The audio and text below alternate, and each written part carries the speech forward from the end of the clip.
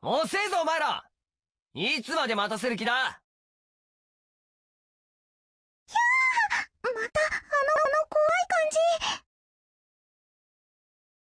ひゃーまたあの怖い感じ。今日は最初からですか？そうですか。今回はお前らが俺の駆除を手伝いてえと言ってきたんだろきつかろうがなんだろうが俺のやり方に従ってもらうぜ。わかってる。でも古希使うのは僕だけにしてくれ。ああ分かってる。分かってるぜ。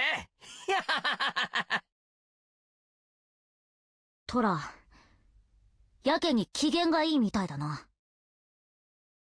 そりゃそうだろ。俺は今絶好調だ。今日のノルマも達成してる気分がいい。いつもより体が軽い。お前の3倍は早く動けるぜ。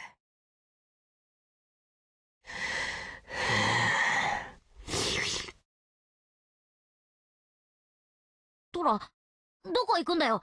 おい待って話を見つけてやるぜ。コードレッドの野郎をな今なら簡単に見つけてやれるぜ。わかるんだよ。感覚が研ぎ澄まされてんだ。凍ったナイフみてえにな。この感じ。合同任務の時と同じね。共通するのは激しい戦闘の後ということとそれに伴う高揚感抑えきれない興奮かしら。まさに戦闘マニアだな皆さんは彼の近くにいてコードレッド特有の気配は感じましたか？いえそれが全く。なので私も判断しかねています。でも絶対におかしいよ。普通じゃない。